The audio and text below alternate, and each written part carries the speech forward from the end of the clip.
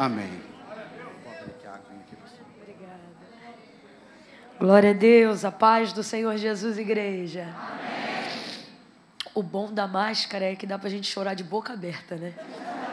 Se ela se presta a mais alguma coisa boa, é a isso, né? Glória a Deus. Que honra estar aqui nessa noite. Eu quero render graças ao Senhor pelo privilégio dessa oportunidade, poder estar em um lugar, irmãos, aonde Deus está é um privilégio que nada se compara, nada se compara. E Deus está aqui. Esse é o grande diferencial que faz com que as pessoas que não são espirituais e nem discernem as coisas como nós discernimos, até elas sejam capazes de olhar e ver a diferença daquele que serve e daquele que não serve. Deus está aqui. Isso deve ser para vocês motivo de muita alegria. Alguém pergunta, onde você congrega? Você diz, eu congrego onde Deus mora. Eu congrego onde Deus habita. Porque Deus certamente está aqui. Que igreja abençoada.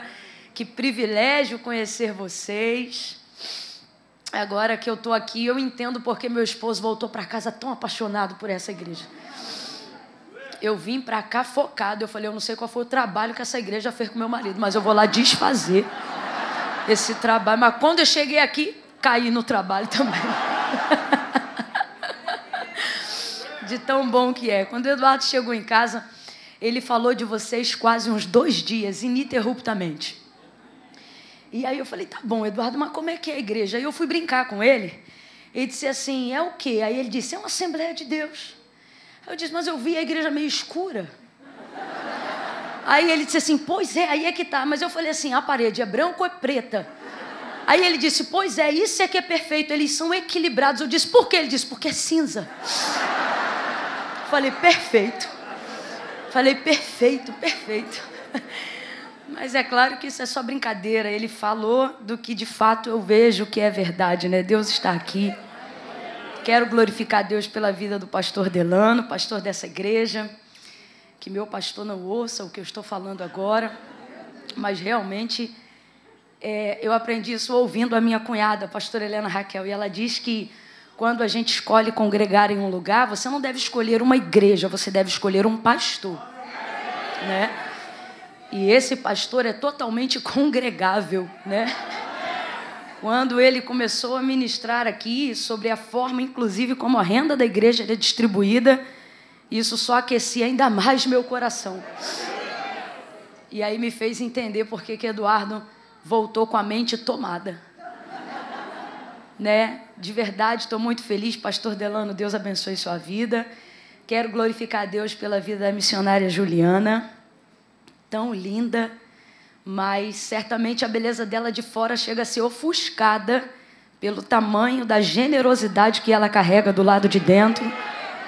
Em poucos minutos a gente pode perceber isso, porque a palavra de Deus diz que aquele que é do Espírito, tudo discerne, dele nada pode ser discernido, e eu pude discernir isso, viu? Deus abençoe. Fiquei até sem graça, foi ela mesma que foi nos buscar ali no hotel, e eu vou dizer por quê. Como o Eduardo falou muito bem da igreja, eu procurei uma roupa boa para vir para cá. Mas o pai me abateu. Porque a sandália que deveria estar com essa roupa não veio na mala. E aí eu disse, eu falei, mãe, eu vou fingir costume. Sabe quando você faz uma coisa e finge que não vê? Eu falei, eu vou meter essa rasteirinha e vou embora. Porque não dava, era isso, era um tênis esporte. E o tênis ia ficar mais gritante, né? E aí eu coloquei essa sandalinha orando, vindo no caminho assim, para a esposa do pastor sem bem feinha, para poder ser tudo bem. Sabe, ser aquela coisa que ia combinar. Daqui a pouco vejo essa mulher longilínea, meu Deus, toda maravilhosa, dando a paz do Senhor, boa noite. Eu fui descendo. Eu deveria ter dito logo de cara a parte do senhor, mas eu já comecei dizendo, pastora, senhora me desculpa, viu? Eu tive que vir com essa sandália porque a sandália que era da roupa não veio, mas amém, né? Deus sabe como trabalhar no vaso. Abra comigo a sua Bíblia no Evangelho do Senhor Jesus, segundo escreveu Lucas. Eu vim de Deus pedindo uma confirmação para essa noite. E logo que que eu cheguei, dobrei meus joelhos, eu acho que foi a ministra de adoração que estava aqui, que fez a citação de Lucas 5. E foi no exato momento que eu pedi ao Senhor uma confirmação. E aí eu pedia, havia separado aqui, disse: Senhor, é isso mesmo? E aí ela disse assim: Porque a palavra de Deus diz em Lucas 5. E eu falei: Tá bom, vou esperar mais um pouco. Aí dei uma de Gideão, né? Primeiro no velo seco e depois o velo molhado. Aí passou mais um pouquinho. Aí vieram os anúncios, né? Pausa para os anúncios. Me deixa aqui render graças ao Senhor também pela equipe de mídia dessa igreja. Rapaz, melhor do que sentar no cinema e ver filme. Não, fala sério. Que anúncios maravilhosos, que equipe maravilhosa. Os rapazes, a pastora falou que é por semana, né? De vez em quando, salteado, cada um, irmão, uma irmã. Oi? Não, calma. e aí os meninos apresentando os anúncios, e aí ela disse, Camila, cada semana é um, né? Ou outro. E eu falei, rapaz, todo mundo é bom. E quando saiu o primeiro anúncio do jovem, eu pensei, se eu fosse dessa igreja, eu não estou nem aí que eu sou casada, eu ia ir para o grupo dos jovens. Muito bom o grupo dos jovens. Aí daqui a pouco veio as irmãs e eu vi aquela mesa de comida. Eu falei, é ruim, hein? Eu ia ir para o grupo das irmãs. As irmãs tá animada, alegre, edificando. Aí a pastora sem graça dizendo, rapaz, no vídeo nosso só apareceu comida. Aí apareceu o meu, eu falei, pastor, o poder de Deus, ó, falou de comunhão, tem que ter comida. E aí depois terminou dos homens. Aí eu falei, rapaz, eu acho que eu ia no dos homens só para admirar, porque tá tão escasso que quando a gente vê um grupo firme assim, a gente vem nem que seja para ver, né? E aí a gente percebe que a igreja é equilibrada, né? Não tem nenhum mais, nenhum melhor, porque aqui todos sabem qual é o seu lugar. E isso faz com que o corpo de Cristo seja edificado. E aí agora na hora de encerrar, para me dar a oportunidade, aí mais uma vez a confirmação o pastor falando da nossa família, e ele disse: A pastora veio aqui e pregou Lucas 5. E aí eu falei: Eu já entendi, Jesus, agora eu vê-lo seco. então, Lucas 5, por favor. Eu quero agradecer o fundo, mas vamos deixar para o final, aí a gente encerra todo mundo junto. Glória a Deus. Lucas, capítulo de número 5.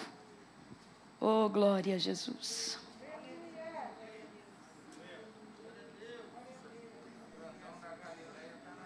Aleluia. Versos 1 em diante, quem achou, diga amém. amém. Diz assim o texto: Apertando a multidão para ouvir a palavra de Deus, estava ele junto ao lago de Genezaré e viu dois barcos à beira da praia do lago. Mas os pescadores, havendo desembarcado, lavavam as redes. Entrando em um dos barcos, que era o de Simão, Pediu-lhe que o afastasse um pouco da praia e, assentando-se, ensinava do barco a multidão. Quando ele acabou de falar, disse a Simão: Faze-te ao mar alto e lançai as vossas redes para pescar. Respondeu-lhe Simão: Mestre, havendo trabalhado toda a noite, nada apanhamos, mas sobre a tua palavra lançarei as redes. E fazendo assim, colheram uma grande quantidade de peixes e rompia-se-lhes a rede. De modo que fizeram sinal aos companheiros que estavam no outro barco para que fossem ajudá-los. E foram e encheram ambos os barcos de maneira tal que quase iam a pique. Vendo isto, Simão Pedro prostrou-se aos pés de Jesus, dizendo: Senhor, afasta-te de mim, pois sou um homem pecador. Somente até aqui, diga amém por essa palavra. Amém. Se assente glorificando o poderoso nome de Jesus. Diga aleluia, diga glória a Deus. Oh, aleluia. Aleluia. Esse texto tem alguns pontos que deixam ele muito bem destacado para todos os ouvintes, né? Não só aqueles que são amantes da palavra de Deus, mas as pessoas de um modo geral que já ouviram falar sobre a pesca maravilhosa pelo menos uma vez. E normalmente destaca-se muito o fato de Pedro ter ficado aparentemente frustrado, né, em razão de ter trabalhado durante toda a noite e não ter apanhado nada. Tanto é que quando Jesus vem e aquela multidão que o seguia com ele e ministra a palavra naquela manhã, Pedro estava lavando a rede. Mas isso não faz a história ser uma história triste e decepcionante, porque porque na verdade ele era um pescador. E isso significa que quando você trabalha, quando você milita numa área, não tem como aquilo que você milita te faltar, porque se torna uma extensão de quem você é. Tipo assim, se você for na casa de uma costureira, ela pode não ter o tecido que você gostaria de trabalhar, mas não vai faltar retalho na casa de uma costureira. A mesma coisa se você for na casa de um pastor, ele só dá conta de ler uma Bíblia, mas vai ter no mínimo mais sete na estante dele. Porque é natural do ofício, do que você pratica. E é sobre essa perspectiva que a gente tem que raciocinar que, na verdade, essa história não tem um milagre que se manifesta nela, como o milagre da pesca maravilhosa, movida pela frustração de Pedro menos ainda pela necessidade, ou seja, pela falta de Pedro ter tido peixe naquela manhã. Porque vamos aqui colocar nossa mente para funcionar de maneira objetiva. Ok, supuséssemos então, suponhamos então, que Pedro não pegou peixe naquela manhã e que Jesus não vai aparecer à beira do lago de Genezaré. Pedro vai passar fome por causa daquela noite? Vai, gente. Vai ficar sem ter o que comer a família de Pedro ou os pescadores que pegam com Pedro naquela manhã? Claro que não. É óbvio que naquela manhã poderia não ter peixe no seu barco, mas certamente haveriam peixes o suficiente na sua casa. Porque isso é praticamente a extensão do que ele é, do que o pai dele fazia, do que ele faz e do que praticamente toda a comunidade local faz. Então isso não é sobre necessidade. Completa para mim para eu ter certeza que você está me ouvindo. Isso não é sobre. Não é sobre necessidade. Nós precisamos aprender a desassociar a realização de milagres somente por causa da necessidade. Tanto que não é o milagre da necessidade, também não é o milagre que matou a fome, a epígrafe do texto da maioria das Bíblias aqui, que tem aquele intituladozinho em negrito, né, em comum da mensagem, não vai estar escrito a pesca da necessidade ou a pesca que matou a fome do povo. O que vai estar escrito, independente da tradução, dá sempre ênfase a uma palavra, a pesca maravilhosa. E o que é maravilhoso? Maravilhoso é aquilo que, é, que transita acima do básico, acima do necessário. Quando uma coisa é muito boa, nós dizemos então que esta coisa é ótima. E quando uma coisa é melhor do que ótima, nós chamamos esta coisa de maravilhosa. Por isso a pesca é maravilhosa, porque ela fala de algo que não transita só dentro do circuito da necessidade, mas de algo sobrenatural que vai muito além dos peixes. Fala sobre a chamada de Pedro. Essa multidão vai com Jesus até ali, e quando Jesus chega na beira dessa praia, o texto diz que ele vê dois barcos. Quantos barcos Jesus viu? Dois. dois barcos. Então você precisa começar a colocar algumas coisas na sua mente. A primeira, eu quero que você anote na tábua do seu coração. O que, Camila? Necessidade não é a única mola propulsora que provoca milagres. Tem pessoas que estão deixando de viver um tempo de manifestações sobrenaturais da parte do eterno, sejam em suas vidas amorosas, sejam em suas vidas financeiras, sejam em suas vidas espirituais, sejam em seus ministérios, não porque Deus não queira fazer, mas porque elas cativaram a soberania de Deus na crença de que para haver milagre precisa haver uma necessidade. E se você só acredita que Deus faz milagre baseado na necessidade, você está tornando cativeira ilimitada a sua fé e o seu relacionamento com Deus. As pessoas estão trabalhando nessa vertente e isso é quase que instintivo. Eu disse que isso é quase que? Isso se dá basicamente porque nós somos brasileiros e qualquer nação que tenha passado ou que viva o tipo de história dentro desse quadro que datamos de 500 anos até hoje, acaba vivenciando quase que o mesmo tipo de raciocínio. Por quê?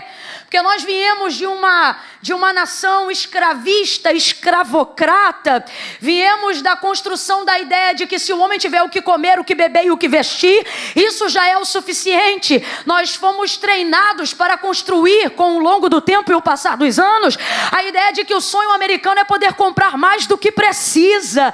Viramos tão materialistas e ligados a necessidades, não porque somos fúteis, mas porque com o passar dos anos alguém foi incutindo na nossa mentalidade que você precisa ter o básico, e se você tiver o básico, isso já é o suficiente.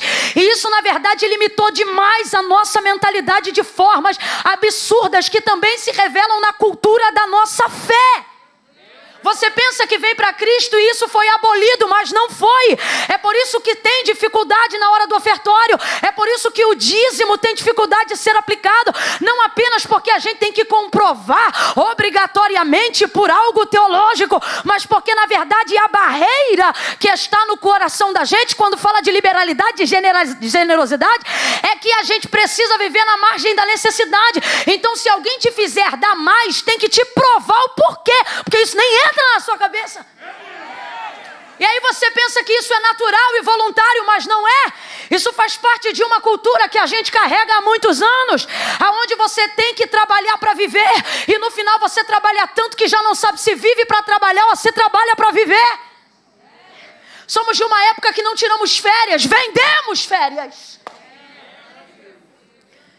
Somos de uma época em que temos dificuldade de confiar na graça de Deus. É por isso que essa geração precisa ser doutrinada. É por isso que essa geração nova precisa ser mentoreada. Por quê? Porque criticamos eles, porque vemos que na liberdade da graça, eles às vezes quase caminham para a libertinagem do mundo.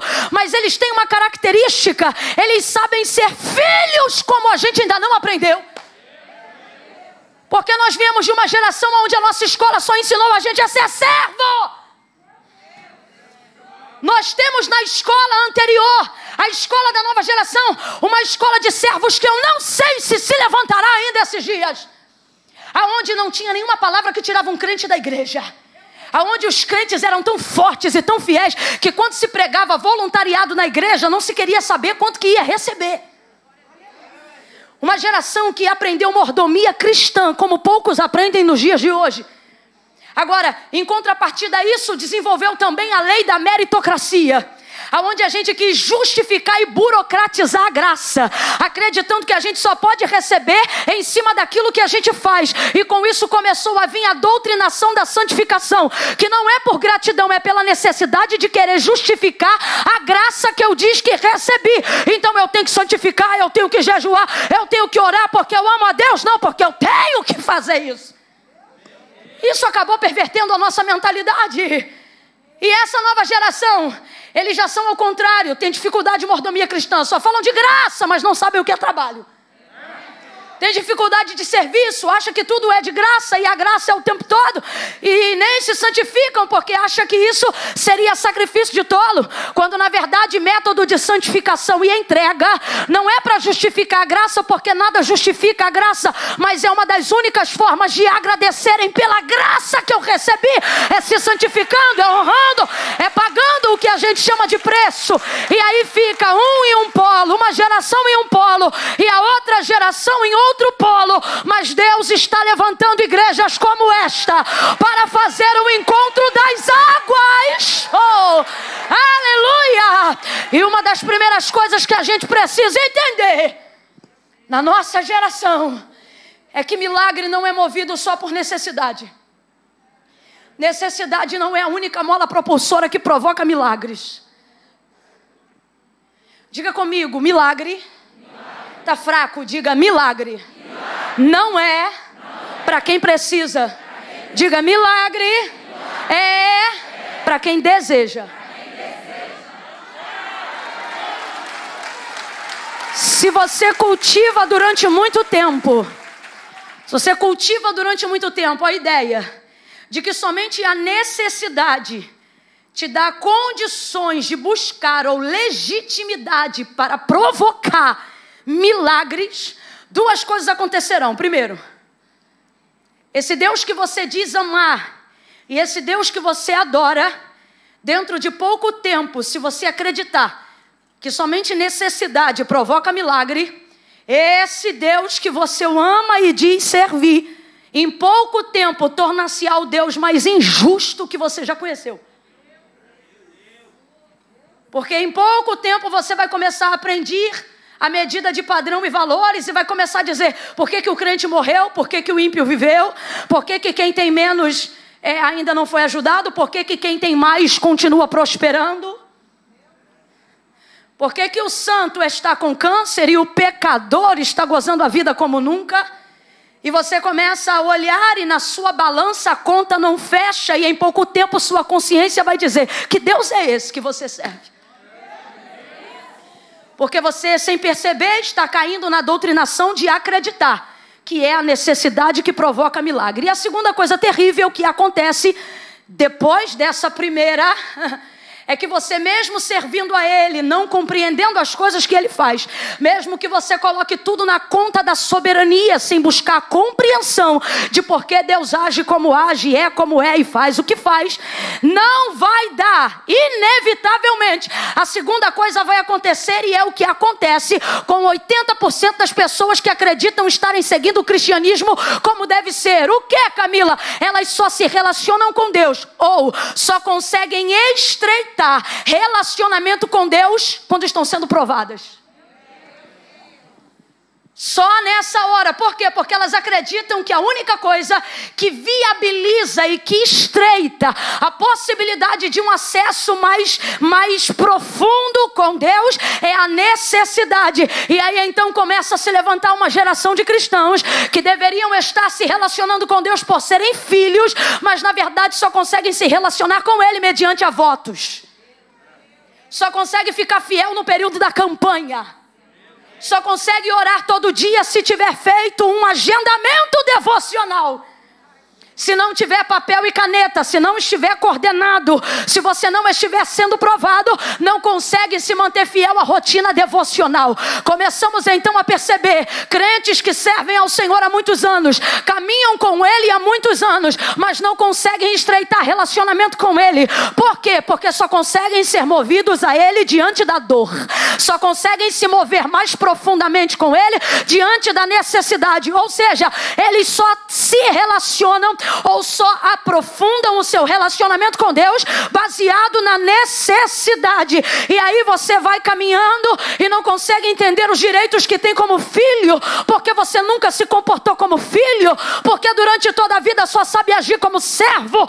Aí de repente chega alguém, toma a herança que é do filho, e você começa a dizer, como o irmão do pródigo: Eu estou aqui há tanto tempo e o senhor nunca fez churrasco para mim, o senhor nunca botou anel em meu dedo, Pois é, porque minhas coisas são tuas. O problema é que você só acessa mediante a necessidade. Porque nunca conseguiu vestir-se como filho, andar como filho. E as pessoas vão caminhando nessa perspectiva, achando que vai ficar tudo bem, sem perceberem que estão entrando na rota dos desviados, sem perceberem que estão entrando na rota da sensibilidade, a ponto de daqui a pouco se tornarem tão sensíveis por não compreenderem questões básicas, vão preferir se afastar do Deus que agora dizem amar. E por que você está falando isso, Camila? Porque somos nós que já caminhamos com Ele, que precisamos aprender a crescer na graça e no conhecimento, e não simplesmente achar que somos inabaláveis, porque servimos a Deus há muito tempo e não precisamos de milagres. Mas Deus me trouxe nessa noite para dizer: eu não estou distribuindo milagre para quem precisa, eu estou fazendo milagre para quem deseja deseja, a expectativa do nosso coração precisa se mover em direção daquilo que glorifica o nome de Deus, em direção àquilo que é maravilhoso. Olha a característica que ele diz sobre si mesmo, pela boca do profeta Isaías. Ele diz: Porque desde a antiguidade, com o ouvido não se ouviu, e nem com o olho se viu, um Deus que trabalha, diga comigo, trabalha. Oh, diga de novo, trabalha. Agora veja veja o texto, trabalha para quem precisa. Não. Porque relacionamento com Deus não tem sustentabilidade se só for pautado na necessidade. Desde a antiguidade. Por que, que não diz desde sempre? Porque não é desde sempre. Quando o Senhor cria o universo, céus e terra, tudo que existe, tudo que há, o texto diz que no sétimo dia, havendo Deus feito todas as coisas, o que ele fez? É óbvio que não significa que ele dormiu nem parou, porque eis que não tosquenejará e nem dormitará o guarda de Israel. O Senhor não dorme, o Senhor não se cansa. Ezequiel, Jeremias, Zacarias, João, todos eles tiveram uma visão, na visão de um Cristo glorificado, e eles disseram que quando olharam para ele, o seu olhar era como chama de fogo. O que isso significa para um judeu? A alusão de alguém que parece gente, mas não é. Por quê? Porque não tem pálpebras. É como se eles dissessem: Deus não dorme porque não pode fechar o olho. Deus não dorme porque não tem pálpebras Oh, mas naquele dia o texto diz que ele descansou, significa que ele parou para admirar a criação. E olha que coisa maravilhosa! Significa que neste dia, mesmo podendo fazer tudo, ele escolheu não fazer nada. Parou para admirar, e é por isso que descanso é um princípio. Você já percebeu que Deus não manda trabalhar, mas manda descansar. Porque trabalho é inerente da natureza caída. Descanso, oh, o descanso é princípio de Deus. Ali ele descansou, mas depois de haver feito o homem, responda para mim, quando foi que Deus descansou de novo? Nunca mais. Nunca mais. Deus fez sol e descansou, fez lua e descansou fez estrela e descansou, firmamento e descansou, separou porção seca e descansou, oceanos e descansou, deu ordem às ondas e descansou. Mas agora o profeta diz desde a antiguidade, por quê? Porque desde que Deus criou o homem, nunca mais por isso ele não diz desde a eternidade. Por quê? Porque isso não é desde sempre. Olha para o teu irmão e diz: Isso é desde que você nasceu. Ah, Deus trouxe gente hoje aqui para dizer: Ei, você pensa que vai me incomodar se eu fizer milagres? Pois fique ciente que eu tenho olhado a tua vida e a minha expectativa é poder fazer dela alvo dos meus milagres. Oh, porque desde a antiguidade com o ouvido não se ouviu e nem com o olho se viu um Deus que trabalha, que trabalha e trabalha e trabalha e trabalha trabalha para aqueles que precisam, não para aqueles que nele esperam, para aqueles que buscam por ele, para aqueles que almejam a sua presença.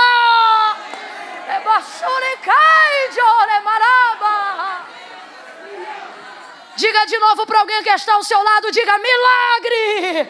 Tá fraco, grita para ele, milagre. Camila, mas é que eu não gosto de gritar. Então, da próxima vez, procure um culto menos pentecostal. Porque se aqui é pentecostal até o tutano, olha para quem está do teu lado aí agora e diga: milagre! Não é para quem precisa. Diga, é para quem deseja. Deus está dizendo: eleve a expectativa que você tem no Senhor hoje, porque Ele deseja fazer milagre. A pesca maravilhosa não é sobre como Deus supre necessidades. A pesca maravilhosa é sobre como Deus entra em áreas pequenas, frágeis, humanas, só para chamar a atenção para aquilo que Ele realmente quer revelar. Parece que os discípulos nasceram no Brasil também, porque logo no início do ministério, uma das primeiras coisas que Jesus faz é quebrar essa mentalidade de só viver para comer. Jesus ele diz: "Não é a vossa vida mais importante do que a roupa do corpo?" Por quê? Porque eles andam atrás de Jesus enquanto ele multiplica pão, enquanto ele multiplica peixes, enquanto ele faz coisas relacionadas à comida e uma multidão segue. No dia do primeiro sermão da montanha, quando ele só fala de alinhamento de caráter, não fica ninguém. Aí Pedro diz: é duro esse sermão, mas Jesus é bem resolvido. É diferente da gente que quando vê o povo levantando e indo embora, começa a dizer: não vai embora não, que já está acabando. Espera mais um pouquinho que fulano vai cantar. Jesus não é assim não. Jesus olha para os discípulos e de vez de falar, fica mais um pouco, ele pergunta: e vocês não querem ir também não? Aí fica todo mundo. E aí dentro desse contexto, Jesus vai explicar para eles e vai dizer assim: olha Não quero que vocês estejam ansiosos por coisa coisa alguma. O que, que significa coisa alguma? Significa por coisa nenhuma. E é a primeira vez que agora Cristo vai compartilhar a paternidade de seu Pai sobre toda a humanidade.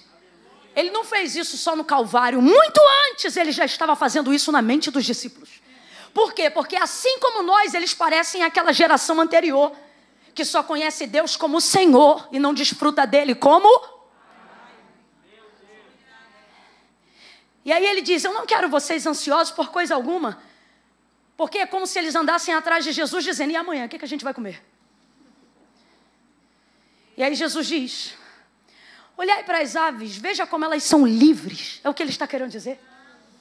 Veja como elas não programam o dia seguinte, mas comem nele também. Olhai para os lírios do campo, que hoje são e à tarde já não são mais. Aí olha o que ele diz: se Deus provê uma veste que de manhã é e à tarde não é mais, e ele provê como? Todo dia, enquanto nasce flor, enquanto tem lírio. Ele está dizendo: se o lírio que não sabe orar se veste de manhã com uma roupa e à tarde, Deus não costura outra, a de de manhã já não vale mais. É isso que ele está dizendo. Não seria porventura a vossa vida mais importante do que as aves que voam nos céus, do que os lírios que estão no campo?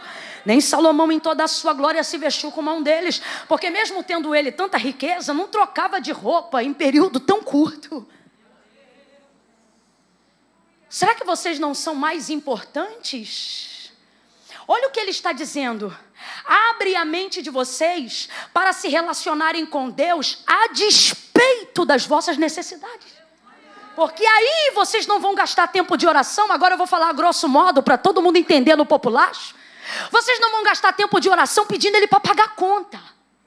Vocês não vão fazer campanha só para ele abrir porta. Vocês não vão falar com Deus só para ter roupa. Ele está dizendo: Ei, o vosso Pai que está no céu. Olha o que ele diz: De todas essas coisas ele sabe. Completa aí, por favor. De todas essas coisas ele Olha a chave que Jesus está dando para os discípulos. Ele está dizendo assim, ó, nas entrelinhas: vocês estão gastando tempo de relacionamento com o Pai, pedindo Ele para fazer coisas que, se vocês não pedissem, Ele já faria. Não, isso aqui é literal e eu vou te provar.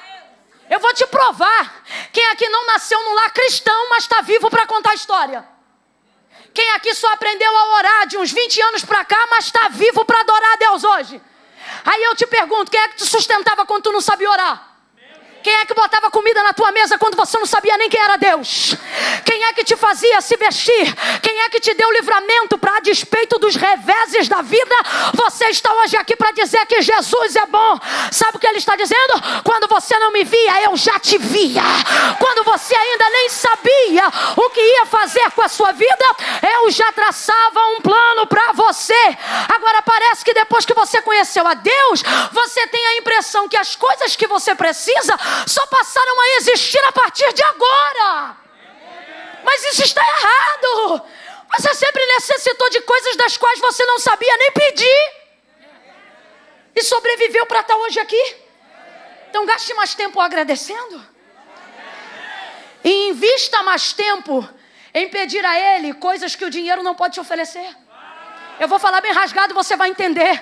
Eu amo milagres, providência, finança, porta aberta. Recebo todos eles. A minha vida é a prova viva de que Deus prospera, de que Deus acrescenta. Absolutamente tudo que eu uso, tudo que eu ganho, tudo que eu tenho, vem do altar e por isso para o altar eu me entrego visceralmente. Agora, quando eu entro para falar com Deus, eu não pauto o meu relacionamento só em necessidades, porque se eu quiser um pouco mais, eu faço um pouco mais. Quer um pouco mais? Capine um pouco mais, batalhaje um pouco mais, dobre o teu plantão um pouco mais. Fale com Deus coisas que o plano de saúde não pode cobrir. Fale com Deus coisas que você não encontra no armário da sua cozinha. E aí, Camila, e aí você vai ver uma janela no céu aberta, uma janela de dentro para fora. Olha para quem está ao seu lado, libere uma palavra profética agora. Diga para essa pessoa: você conhece o Deus bom? Diga, você conhece o Deus ótimo? Diga assim, mas em 2021, Ele quer ser o Deus maravilhoso. Melhor que bom, melhor do que ótimo. O Deus maravilhoso. Deus maravilhoso. Deus maravilhoso, Deus que entra onde o remédio não entra, Deus que não espera eu chegar no meu limite para me socorrer, Deus que me abençoa quando eu menos espero, Deus que abre portas maiores do que eu preciso, Deus que me deixa viver melhor do que eu mereço. Que Deus é esse? É o Deus que não espera eu me arrebentar para mostrar que me cura, é o Deus que não espera eu chegar no limite da minha vida para conhecer a sua bondade, Deus que me abençoa por detrás e por por diante. Deus que me abençoa de manhã e à noite. Deus que me fará. Deus que me fará. Viver bem com as bênçãos. Sabe por quê? Rapaz, a coisa é tão séria, tão séria. Eu disse que a coisa é? Vou até beber uma água.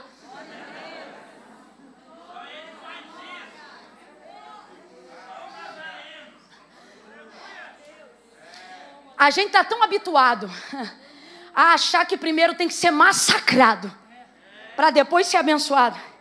Que se a gente é abençoado sem ser massacrado, a gente suspeita da benção. Fala a verdade.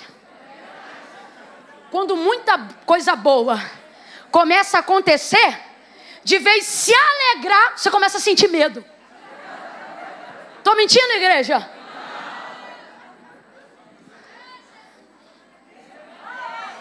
O coração começa a ser assaltado. Você começa a pensar: vai morrer alguém,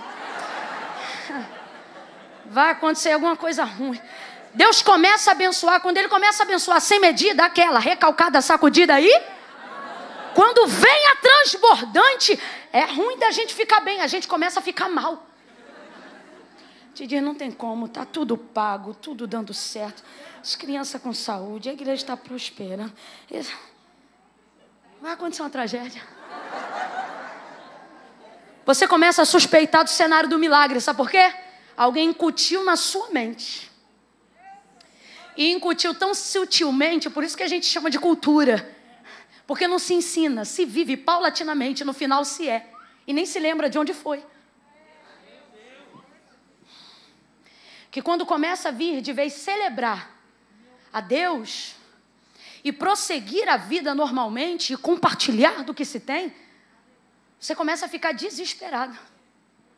Eu me lembro de uma fase da vida onde o Senhor começou a dar graça por todos os lados. E eu vivi isso, ao invés de me alegrar, comecei a ficar perturbada. E isso faz a gente entender a síndrome de Jó.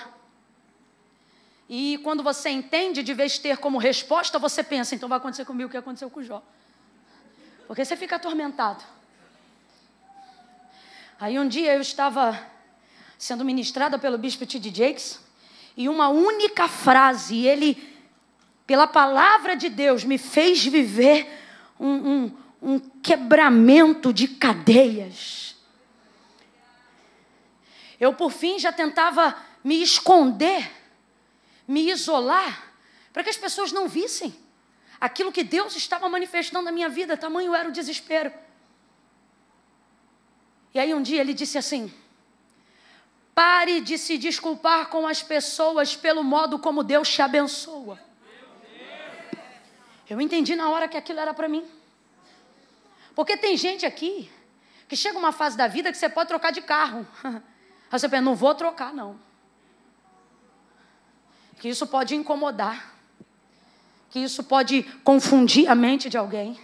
É impressionante como a gente fala abertamente das nossas necessidades, mas tem dificuldade extrema de compartilhar o momento das nossas bênçãos.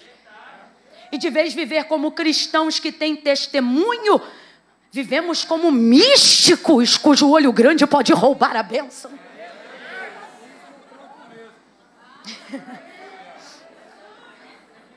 Então preste atenção você vai ver todo um aparato em Lucas 5 para que o Senhor manifeste um milagre que todos nós conhecemos como algo maravilhoso.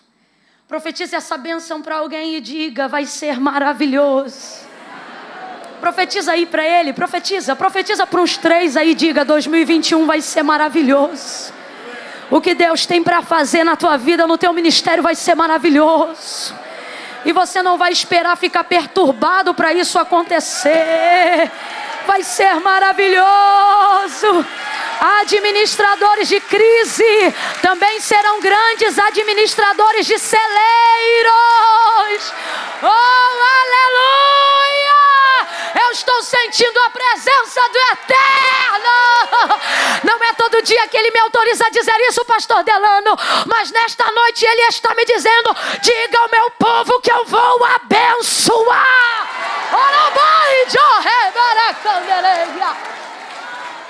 Aleluia!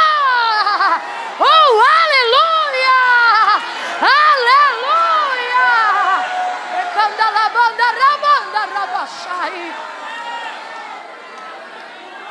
Camila, eu quero ser um agente de milagres. Camila, eu quero que, se Deus quiser passar por alguém para fazer milagres, eu quero que ele saiba que pode passar por mim, ele pode passar pela minha vida, ele pode passar pelas minhas contas, ele pode passar pelo meu barco. Entra no meu barco, Jesus. Oh. Se você quer ser essa pessoa, eu vou falar só três coisas. E se eu dissesse para você que exatamente como alguém passa uma receita de bolo, é só isso que você tem que fazer. Anotar essas coisas.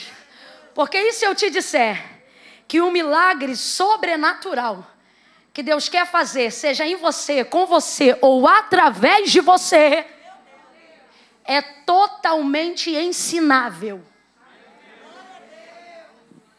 Se eu te dissesse que não depende de um óleo especial que vai sair de mim e Eu sou da época do Street Fighter, um Hadouken. Se eu te dissesse que não depende de nada disso, mas depende apenas de três princípios. O primeiro você já trabalhou na sua mente. Qual? Não é por necessidade. Qual é o segundo? Ative a sua visão panorâmica. O que é isso, Camilo? O texto diz: Chegando Jesus à beira do lago de Genezaré, viu quantos barcos? Quem lembra? Dois. Quantos barcos? Dois. Mas durante toda a narrativa do texto, ele só trabalhou com um. Nunca despreze o olhar de Jesus em detrimento da sua obra. Nem sempre ele está fazendo literalmente aquilo que todo mundo acha que ele está fazendo tudo que ele faz não tem a ver necessariamente com o que ele faz, mas com o que ele viu antes de fazer. Então nunca acredite que porque ele não está tocando em alguém agora, não significa que este alguém também não esteja envolvido. Que porque ele não entrou na casa de alguém agora, que não significa que essa casa também não faça parte do plano.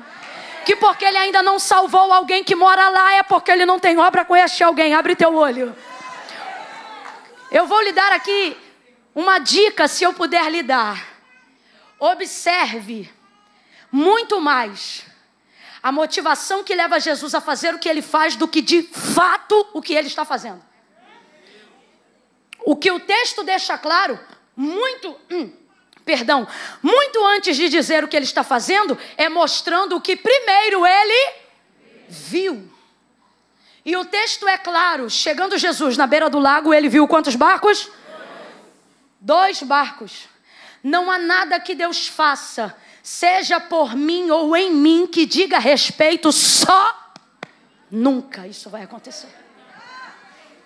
Nunca isso vai. Se acontecer, não foi porque Jesus viu, não foi porque Jesus escolheu, porque se é Jesus que vê, se é Jesus que escolhe, pode ter certeza, não tem a ver só com você. Chegando na beira da, da praia do lago de Genezaré, viu dois barcos. Camilo, o que Deus então está me dizendo nessa noite? Ele está dizendo: ative a sua visão panorâmica. Comece a imaginar. Se Deus enchesse você, se Deus começasse a usar você, se Deus manifestar um milagre em você, no raio de atuação, aonde você mora, onde você trabalha, onde você estuda, quantas pessoas mais poderiam ser atingidas por aquilo que Ele vai fazer na sua vida?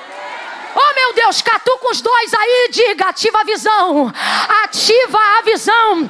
Que visão? Visão de umbigo? Não, visão panorâmica, 360 graus. Deus trouxe a gente hoje aqui para dizer: ei, eu vou ampliar a visão de vocês, eu vou mostrar que aquilo que eu vou fazer em vocês não significa que vai acabar em vocês, é apenas o ponto de partida de por onde eu vou começar a fazer uma grande obra. Quem está entendendo isso, levanta a mão para o céu e começa a dizer: Olha eu aqui, Deus. Olha eu aqui, Deus. Dois barcos. Eu não conto almas. A não ser quando estou num lugar grande e a reconciliação é grande, e eu conto só algumas para poder mostrar para as pessoas que houve reconciliação. Mas também não faço isso porque não gosto de usar óculos e não enxergo de longe. Mas por que eu estou dizendo isso? Porque num campo de visão, a nossa perspectiva em relação ao que está diante dos nossos olhos é completamente diferente da perspectiva de Deus diante do que a gente vê. Literalmente. Você passa por um cracudo e diz: Olha ali um cracudo. Jesus passa pelo cracudo e diz: Ali um menino. João 9 sempre prova isso. Todos passaram por um cego e disseram: Ali um cego. Jesus passou pelo mesmo cego e disse: Ali um homem. Ele tem uma perspectiva diferente, mesmo quando nós estamos olhando para o mesmo lugar. Ele disse o que para Samuel na unção do rei? Quando entrou na casa de Jessel Belemita, Samuel, não te atente para a aparência, porque o homem olha o que está por fora, mas eu, o Senhor, conheço. Por exemplo, se você contar quantas pessoas tem nesse culto, você vai chegar em um número. Se Deus contar quantas pessoas vieram nesse culto, Ele vai dar outro número. Você quer ver? Se pessoas se decidirem hoje a fazer uma aliança com Deus, e já vá pensando sobre isso, porque eu creio que é hoje.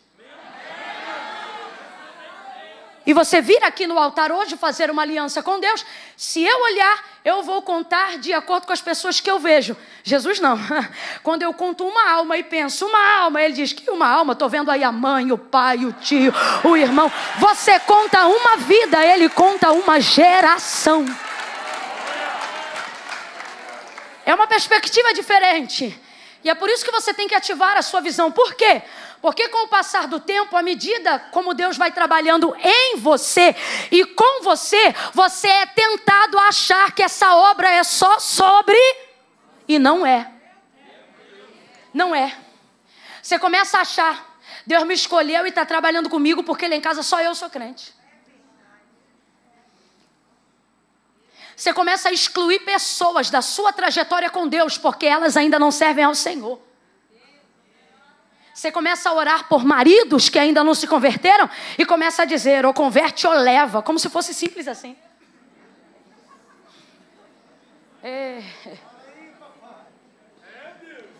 Só que Deus nos trouxe aqui nessa noite para dizer: ativa a tua visão panorâmica. Por quê? Porque o lugar que Deus está para fazer o que vai fazer depende de alguém que veja como ele vê. E o que ele vê? Ele vê coisas que estão além de si próprio. Chegando ali, vendo os dois barcos, ministra a palavra. Pedro continua lavando as redes, mas ouve a palavra daquela manhã. Ele ainda não sabe que é Jesus. Diga comigo para não esquecer. Diga, ele não sabe isso, ele ainda não sabe que é Jesus, mas ele percebe que este homem que está ministrando na beira da praia aquela manhã, ele tem autoridade, então ele pensa: é um rabi, é um mestre, e começa a prestar atenção naquilo que ele está falando. Ele pede, Jesus pede o seu barco emprestado, ele usa o seu barco, E agora ministra, e depois de ministrar e Pedro ouvir, ele desce do barco. E agora, mesmo estando diante de uma multidão, ele vai precisamente em direção a Pedro. E ele vai lançar uma palavra sobre Pedro. Uma palavra que tem a ver com a frustração da noite anterior. Jesus olha para Pedro e vai dar a ele um norte que vai mudar a realidade daquela manhã, materialmente falando. Agora é interessante, dá uma pausa. Jesus ele tem dessas coisas, preste atenção. Pedro ainda não sabia que era Jesus, mas nós sabemos. E quando nós sabemos que estamos diante de um Jesus que tudo pode, de um nome que tudo opera, começamos a criar expectativa em como ele pode agir em cima das nossas frustrações, sim ou não? Você não vem para um culto como esse só para participar de uma liturgia devocional. No fundo, no fundo, ainda que não seja o foco principal, o foco principal é a adoração. Mas lá no fundo, você nutre a expectativa de que Deus terá misericórdia e vai liberar uma palavra, vai te dar um rumo, vai dar uma direção, um destino, sim ou não? Agora, sabe o que é complicado? É quando a gente sabe quem é Ele, sabe que Ele tem poder de fazer. Porque, do mesmo jeito que Ele disse para Pedro: joga a rede no mar, Ele também poderia dizer: joga na areia. E se Ele tivesse jogado, ia dar peixe. Porque Ele é o Filho de Deus. Aí, quando você sabe que Ele tem poder de fazer da boca de peixe caixa eletrônico, você começa a nutrir expectativas de que Deus fará e de que Deus te dará uma direção nas áreas que você viveu frustração com relação a, a coisas que você nunca fez. Você começa a nutrir expectativa. Diga comigo e me respeite na minha carioquice. Então, chia quando for falar. E diga expectativa. Também não debocha. expectativa. É natural, Pedro vai nutrir um nível de expectativa, porque um homem que arrasta uma multidão não é qualquer pessoa. Quando Jesus vai caminhando em direção a ele, parece que eu vejo a expectativa dele aumentando, porque isso é normal.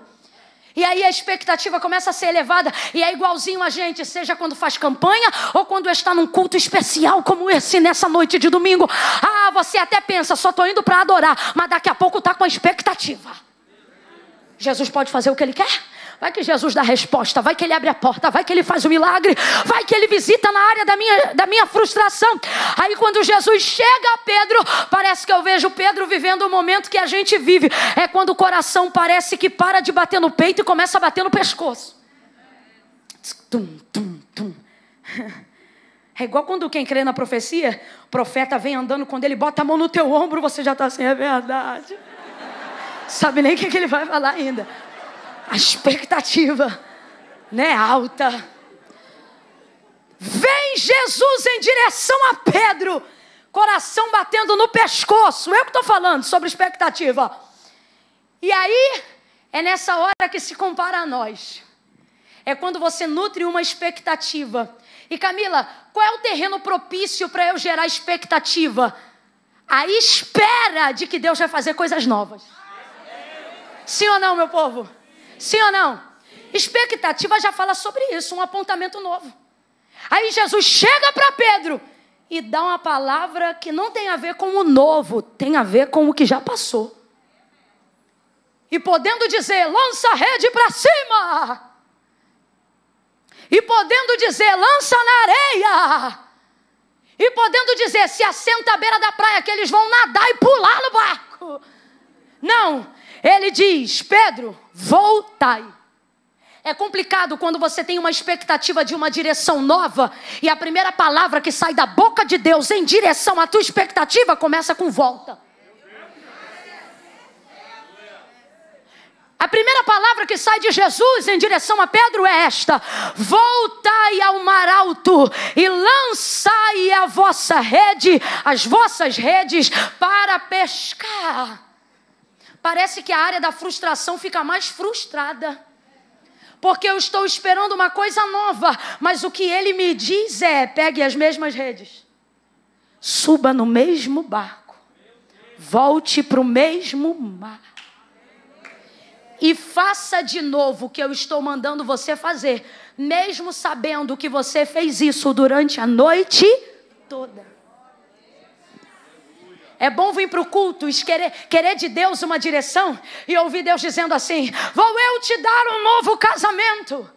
Difícil é neste culto Deus usar a boca do pregador e dizer: Volta para o mesmo marido.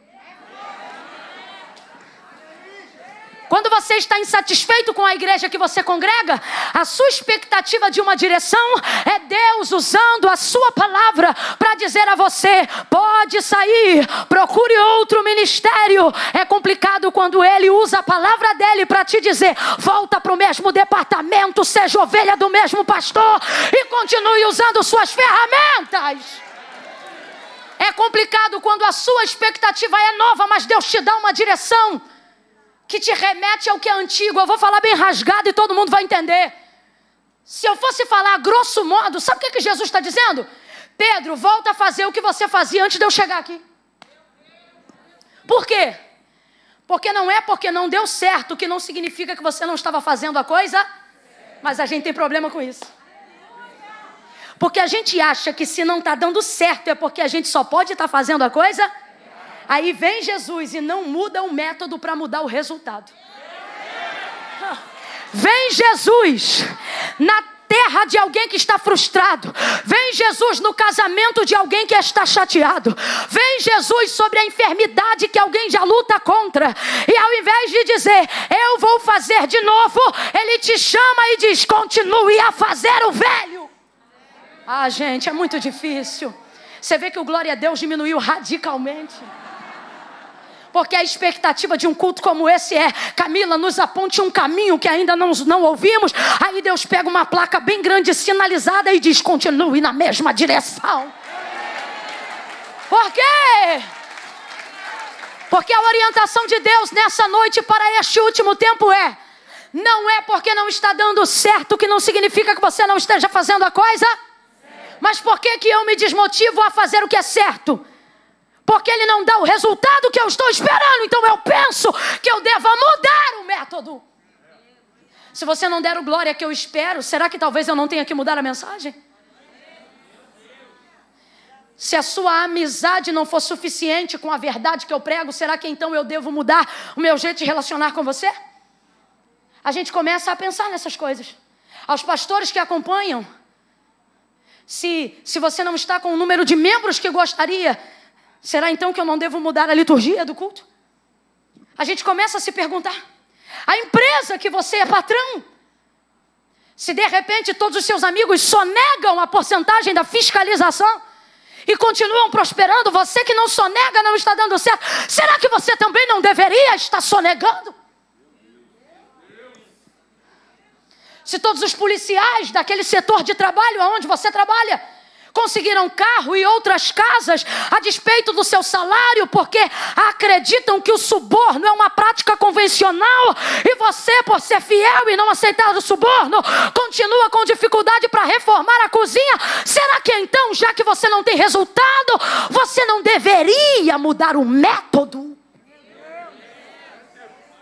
Alamanda Rabashai. E daqui para frente, nos últimos 15 minutos que eu vou ministrar, se você não quiser dar glória, fica à vontade. Sabe por quê? Depois de 12 anos de ministério, eu aprendi que resultado não muda o método que Deus me deu. E Deus nos trouxe hoje aqui para dizer isso. Ei, tenha coragem. Eu não quero você alterando o método só para obter resultado.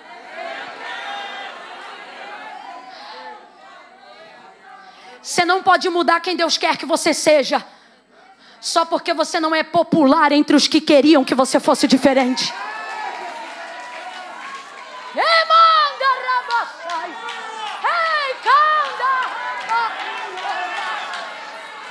Ouça isso. Agora veja, veja, veja. Pedro não hesita. Ele fala da frustração, mas não hesita. Ele diz assim: havendo trabalhado toda a noite, mestre. Eu não estou dizendo que você não vai ver Deus mexendo em áreas da sua frustração. Eu só estou dizendo que depois de você ver Deus mexendo lá, lembre-se que Ele é mestre. Está doendo, mas eu vou, mestre. Eu não gostaria, mas isso não é sobre o que eu quero, é sobre o que a tua palavra diz, mestre. Eu não gostaria ter que voltar depois de ter lavado as redes, mas eu reconheço que quem está mandando é mestre. Havendo trabalhado toda noite, mestre, nada apanhamos, mas sobre a tua palavra eu lançarei a rede. Eu vou continuar a fazer o que o Senhor está me mandando fazer e vou fazer debaixo da tua palavra. Preste atenção. Vou fazer debaixo da tua palavra. Fé não é sobre o que eu sinto, fé é sobre o que eu sei. Fala a verdade, você acha que Pedro está sentindo que vai pegar peixe? Não, ele vai fazer porque Jesus está man. E ele vai pegar muito peixe ou não vai? Porque a fé que você diz ter só é real não quando você ouve, mas quando você pratica. Então, fé não tem a ver com o que a gente sente de fazer, fé tem a ver com o que a gente sabe que tem que ser feito. Num diálogo analógico sobre fé, seja feito em João ou em Tiago, é como se colocassem dois homens de frente e um dissesse: Mostre-me o tamanho da sua fé. E ele diz: Eu não vou mostrar o tamanho da minha fé, eu vou te mostrar as minhas obras. E aí, vendo as minhas obras, você vai saber qual é o tamanho da minha fé. Fé não é sobre sentimentos. Fé é sobre fazer o que precisa ser feito. E à medida que você vai fazendo, a obediência vai te fazendo prosperar. E aí essa fé vai aumentando. O que? A capacidade de obedecer cada vez mais sem hesitar. Havendo trabalhado toda a noite, nada apanhamos, mas porque mandas, ou sobre a tua palavra, nós lançaremos a rede. Agora eu te pergunto: Pedro ainda não sabia que ia pegar a maior quantidade de peixes que já pegou na vida de uma vez só. Ele não sabia. Agora, Jesus sabia. Já que Jesus está mandando ele fazer uma coisa que ele já fez e não deu certo, por que, que Jesus não anima ele a fazer? Dizendo: Olha, você vai fazer de novo o que você fez a noite inteira, mas agora você vai pegar peixe que nunca pegou a vida inteira. Porque raciocine. Pedro não sabia que ia pegar tantos peixes, mas Jesus sabia sim ou não? Sabia sim ou não? Mas Jesus não anima ele. Jesus só libera sobre ele a palavra, que é o método. Aí eu digo, Deus, por quê? Se o Senhor sabia que ele ia pegar, por que não animou a expectativa dele? E o Senhor me disse, porque a vossa expectativa tem que estar no método e não no resultado. Se a sua expectativa só caminhar de acordo com o resultado, você vai macular o resultado antes mesmo de obedecer. Porque a sua intenção em obedecer não é para obedecer o método, mas para desfrutar do resultado. E aí já maculou. É por isso que Mateus 16, 24, Jesus diz: Aquele que quiser vir após mim, negue-se a si mesmo, tome sobre si a sua cruz e siga-me. Portanto, vos digo que qualquer que perder para me seguir já ganhou, mas qualquer que querer vir para ganhar já perdeu. Olha o que, que Jesus está dizendo. Se você tiver que perder para chegar, se considere ganhador antes de ganhar. Agora, se você quiser vir para ganhar, considere-se perdedor mesmo depois de chegar. Por quê? Porque o que faz da gente vencedores e perdedores no olhar de Deus não são os resultados que a gente desfruta fruta, mas e a fidelidade em obedecer ao método da Sua palavra? Jesus não anima Pedro. Jesus não diz para Pedro: Pedro, vai filhão, que agora vai ter muito peixe, porque isso aqui não é sobre ter peixes, é sobre ver se quem vai ser chamado é capaz de obedecer a palavra independente do resultado. Se o Senhor passasse uma sonda espiritual nessa noite, será que Ele poderia aferir todos os corações aqui em dizer que estamos aqui por causa do método ou só viemos nesta noite por causa dos resultados? Ele vai para o barco. Mesma rede, mesmo barco, mas presta atenção. A expectativa é nova. Por que, Camila, que você diz isso? Pelo simples fato dele voltar ao mesmo lugar. Eu vou falar um negócio para você. Quando alguém vai te dar uma direção nova, você não precisa de uma expectativa nova. A direção é nova, a expectativa nasce naturalmente. Quem aqui já comprou uma roupa sem ter o um lugar para usar? E inventou o lugar só porque queria usar roupa? Fala a verdade, irmã. Você compra uma roupa, tem lugar para ir? Não, mas se aparecer eu já estou pronta. Aí passa um tempo, não tem lugar, você diz: Quer saber? Vou botar no culto de hoje. E vem com a roupa. Por quê? Uma roupa nova produz naturalmente uma expectativa nova. Sabe o que é difícil? Nutrir expectativa nova com coisas antigas. Aí você diz, mas bom mesmo, Camila, expectativa nova com coisa nova. Isso é fácil. O que Jesus faz é mais difícil. Ele consegue colocar na gente expectativa nova para viver coisa antiga. Eu vou falar rasgada. Você não precisa de uma animação nova para casar com uma mulher nova. Difícil é ter uma animação nova casado há mais de 30 anos com a mesma mulher. Você não precisa de uma igreja nova para ter uma expectativa nova de servir. Difícil é continuar depois de cinco anos trabalhando no ministério infantil e amando as crianças que você viu crescer. Levante a sua mão porque eu quero profetizar. Deus trouxe gente hoje aqui para dizer: Ei, eu não vou precisar inventar uma coisa nova. Eu vou te dar uma expectativa nova para continuar jejuando, orando, buscando, obedecendo o método que Deus te deu. Quem recebe isso, diga amém. Eu posso ouvir um amém. Posso ouvir um graças a Deus. Jesus está dizendo: Você vai voltar nesta noite noite para a mesma casa e não vai odiar essa casa, vai amar essa casa antiga como se fosse uma casa nova. Você vai voltar para este mesmo casamento e não vai odiar essa esposa, mas vai tocar nela como se ainda fosse aquela mocinha da tua mocidade. Deus está dizendo hoje aqui, ei, eu não vou precisar alterar nem o mar, nem a rede, nem o barco. Eu vou trabalhar no teu interior. E aí o barco o barco que você já usa, a rede que você já conhece, o trabalho que você vai voltar na segunda-feira. Não vai precisar de um chefe novo, por quê? Porque você vai estar novo. Vai Pedro para o mar, prepara a rede, lança a rede. Quando ele começa a puxar a rede, o texto diz que o barco começou a parecer que a pique e a rede começou a raiz a rasgar, começou a romper. Olha para quem está do teu lado para a gente fechar junto. Você tem que se lembrar disso aqui. Jesus só trabalhou ali com Pedro. No barco de Pedro, mas você lembra da visão. Quando ele chegou, ele viu o quê? Olha para o teu irmão que é para ele não esquecer. E diga assim para ele ou para ela: se não me chamar, quando a bênção chegar, não é ameaça, não, é promessa. Levanta o dedo e diga assim: já sabe.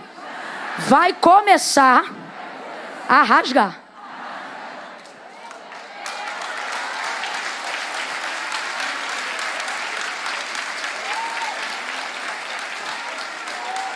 Ele começou a puxar, não deu conta.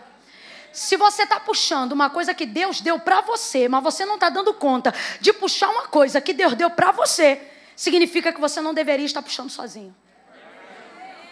Eu vou falar de novo e você vai aplicar isso em todas as áreas da sua vida.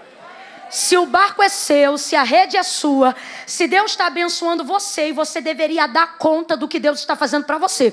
Então, se é seu barco, se é sua rede, se são seus peixes e você não está conseguindo puxar, isso não significa que Deus não te abençoou. Não. Isso só significa que você não entendeu que a benção é tão grande que você não pode puxar sozinho. Você precisa incluir mais gente nesse projeto. Você precisa incluir mais gente nessa empresa. Você precisa começar começar a contratar, meu filho.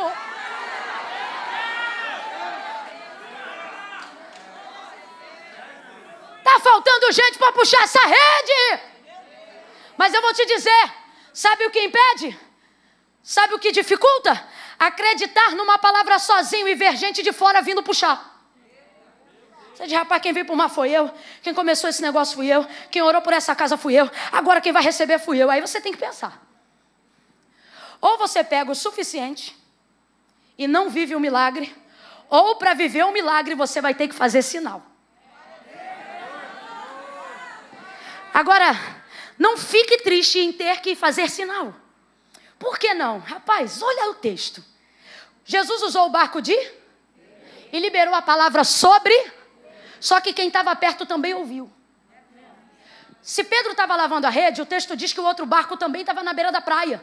Só que depois que Jesus liberou a palavra, pode olhar o texto, Jesus liberou a palavra para. Mas o boto barco ouviu e danou-se para o mar também. Está aí no texto, é só você ver. É gente que não foi o alvo, mas ficou debaixo da mesma Camila, eu ainda não entendi. Você acha que só você é santa, que só você é crente, que só você dá conta. Só que Deus me trouxe hoje aqui para te dizer: eu vou te mostrar que tem gente nesse mesmo mar, que tem gente debaixo de uma mesma palavra, gente que está pronto. Veja, ele não fez sinal para a beira da praia, ele fez sinal. O texto diz que o barco estava do. Tem gente afundando porque não consegue ver, gente que tem gente do lado que é tão crente quanto você. Ai, Camila, mas você não sabe de onde eu vim. Eu tenho muita dificuldade de confiar. Então guarda essa dica. Quem vier metendo a mão no peixe, desconfia. Só que o texto diz que colando eles, ou seja, emparelhando barco a barco, o barco vizinho meteu a mão na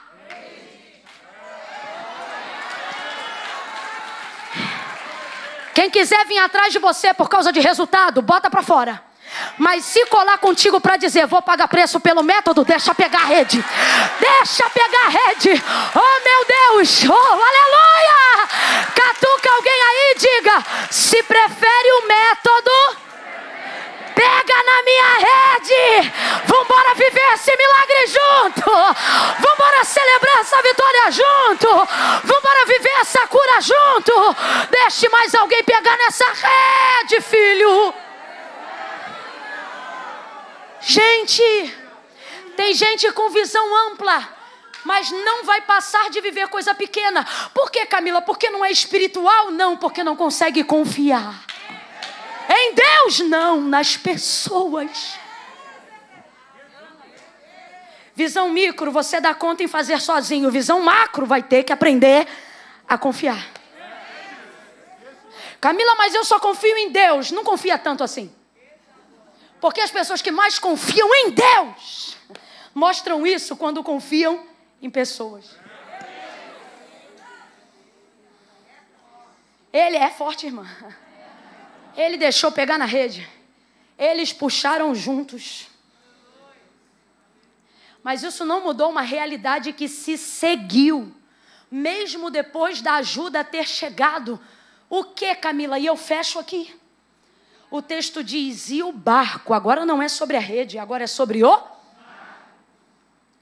Quase ia a pique. Se quase ia náufrago, significa que entrou um pouco de água.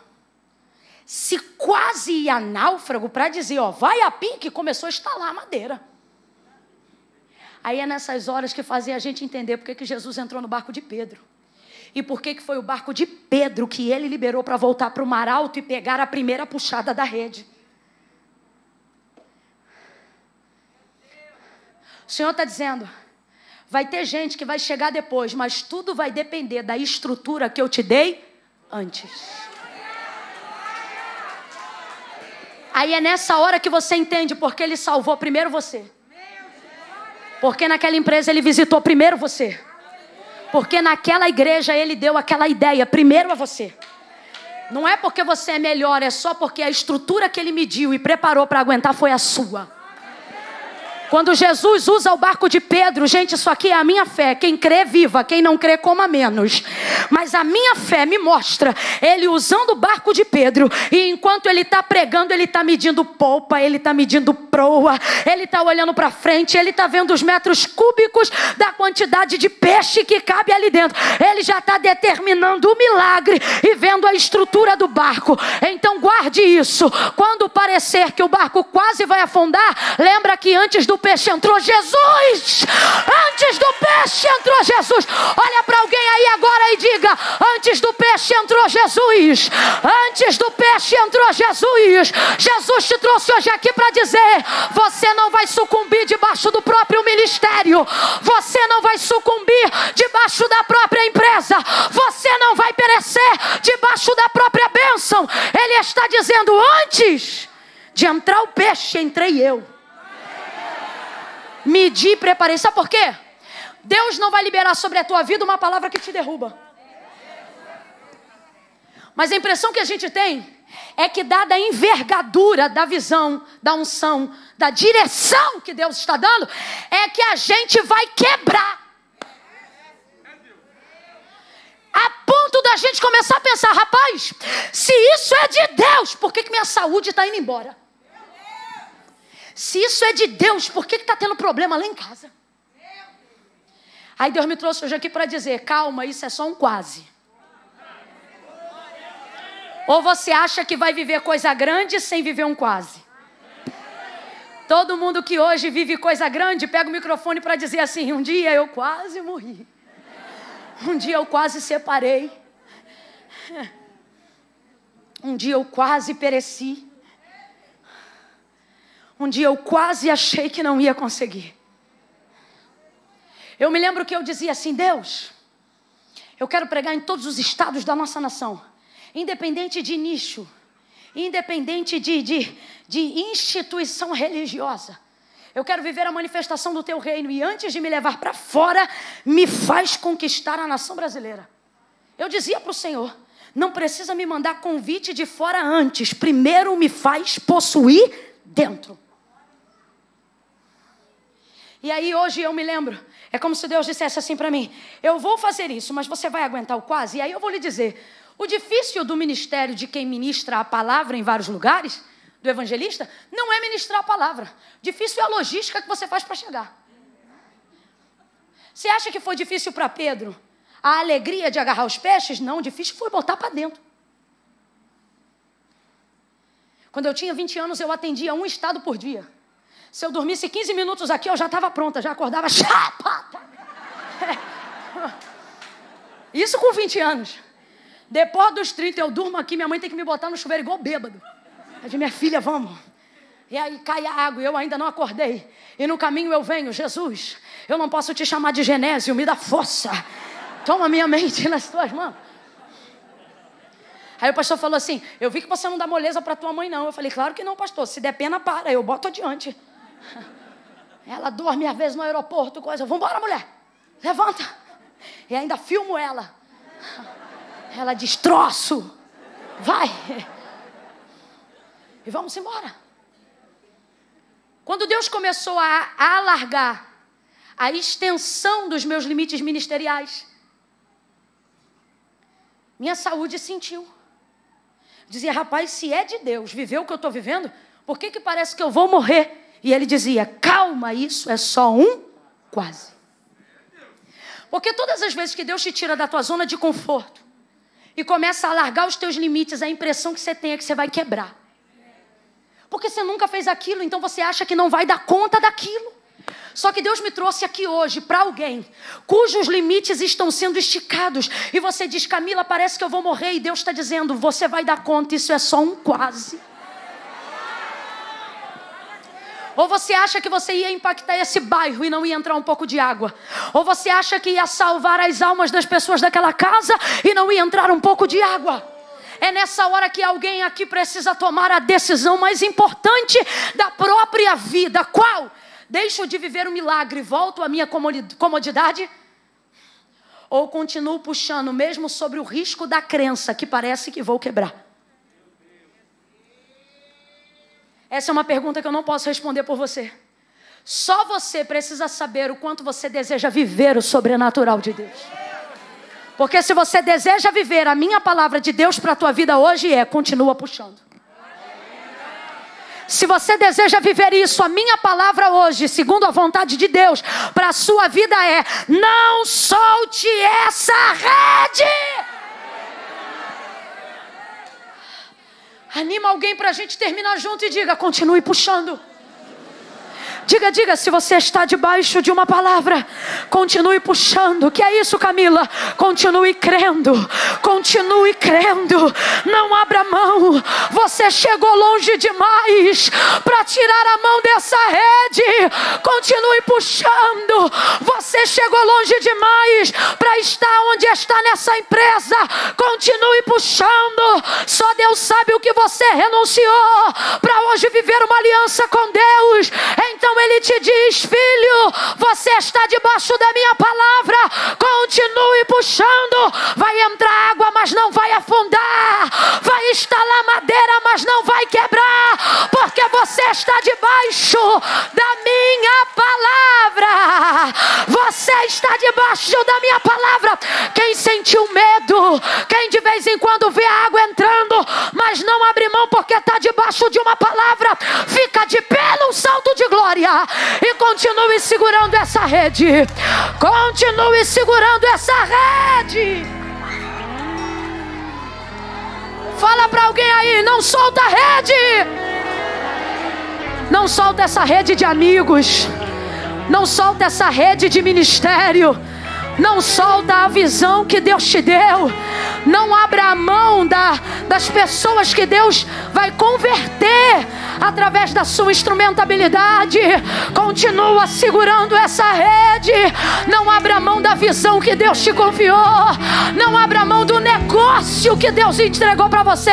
Segura essa rede. Camila, mas não está dando resultado. Preste atenção. Se não estiver dando resultado, você precisa refazer o método na sua cabeça. Porque Deus só dá resultado para quem é capaz de ser fiel ao método. Preste atenção. Se não está dando certo, você precisa refazer o método. O que é isso? A direção que Deus te deu. A palavra que Deus te orientou. Quem aqui lembra de revisão que dava uma semana antes da prova? Quem lembra? Era um apanhado de tudo que a gente estudou no longo do ano. Você lembra? Aquela revisão ajudava a gente na prova. Deus está dizendo para alguém hoje aqui: você precisa fazer uma revisão. Veja se nessa caminhada você não tirou alguma coisa do meu método e colocou o seu. Deus está dizendo, porque se você for fiel ao método que eu te entreguei, eu serei fiel ao resultado. Mas eu não quero você preocupado com o resultado. Você não pode ficar ocupando a sua mente com o resultado, você precisa ocupar a sua mente com o método. Quando, quando eu pego o microfone para ministrar, no início do ministério a gente só fica preocupado com o resultado. Como vai ser? Será que vai explodir de glória? Será que vai ter alma? Será que vai ter renovo? E isso só atrapalha a execução, porque de vez se comprometer com a expectativa de Deus, você se compromete com a expectativa do povo. Mas depois de uns anos, se o povo dá glória, se não dá glória, nada disso muda para você, porque você aprende a ser fiel ao método e deixa o resultado na mão de Deus. É muito importante eu falar isso aqui para advertir alguém. Sua intimidade com Deus não tem o poder de alterar o método que ele te deu. Quem aqui lembra do Moisés? Moisés, o da tábua dos dez mandamentos, o líder do povo que foi tirado do Egito. Quem lembra de Moisés aí? Diga eu. Moisés tinha tanta intimidade com Deus que quando ele não quis se defender, o próprio Deus desceu numa nuvem e o defendeu diante dos seus irmãos Arão e Miriam e disse assim: Quando eu quero falar com vocês, Arão e Miriam, eu falo por um sonho, eu envio um recado mas com Moisés eu falo boca a boca. Era muita intimidade. Intimidade com Deus demanda tempo, e tempo tem poder de estreitar relacionamento. No início do ministério, Deus chama Moisés de servo, mas no final da carreira, Deus chama Moisés de amigo, porque eles eram íntimos. Agora, olha isso, gente. Moisés, sem dúvida, foi um dos homens que mais desfrutou intimidade com Deus. Quantas pessoas nós poderemos perguntar que viram Deus de costas? Só Moisés. Só Moisés. Alguém a quem Deus se revelou no resplendor de sua glória, mesmo que seja pelas costas, mas se revelou. Agora, nada disso deu a ele autonomia para mudar o método. Que método? Águas de Meribá. O povo começou a pressionar. Dá-nos água. Estamos com sede. Dá-nos água. Queremos beber água. Não tinha água no Egito? Viemos aqui para quê? Agora não tinha sepultura lá? Vamos ter que ficar com os corpos aqui? Vamos morrer de sede? Água, água, água. Vai Moisés falar com Deus. Deus, o povo tem sede e desejar água. Deus vai liberar uma palavra, entenda, um método. Diga, Deus vai liberar um. O método que Deus dá é esse aqui, ó. Aqui uma rocha. Vai até ela. Olha o método. Fala com ela e ela vai te dar água. No caminho da volta, presta atenção, ele já tinha um método já estava debaixo de uma palavra, já tinha uma direção. Mas no caminho da volta, o povo começa. E aí ele falou o quê? Cadê? Onde tem água? Dá água pra gente, a gente tem sede. Para não dar com o cajado na cabeça de um crente. Ele pegou o cajado e arrebentou a rocha duas vezes. Pá! Pá! Deu água. E o povo bebeu água. Raciocina comigo. Deu água. E o povo bebeu água significa que deu certo. Deu certo ou não deu? Deu, é, a nível da sede do povo. O povo bebeu água ou não bebeu? Se saciou ou não se saciou? Matou a sede ou não matou? Significa que deu resultado. Se deu resultado, vamos embora. Deu certo. Deu certo ou não deu? Deu certo ou não deu? Deu, gente, deu resultado. Deu certo ou não deu? Sabe o que isso aponta? Nem tudo que está dando certo significa que está sendo feito do jeito Deu certo para todo mundo, sabe por quê? O mundo só aplaude resultados. Tá todo mundo assim, ó. É Moisés, o cara. Mas Deus diz: Moisés, vem cá. Olha o que, que Deus diz para ele. Não te disse eu, fala rocha? Disse mas porque tu feriste e não falaste, a água, a terra que jurei aos seus pais que lhe daria, darei, mas tu não entrará. E o povo está assim, ó, Moisés, o cara da água. Rebentou, hein, Moisés?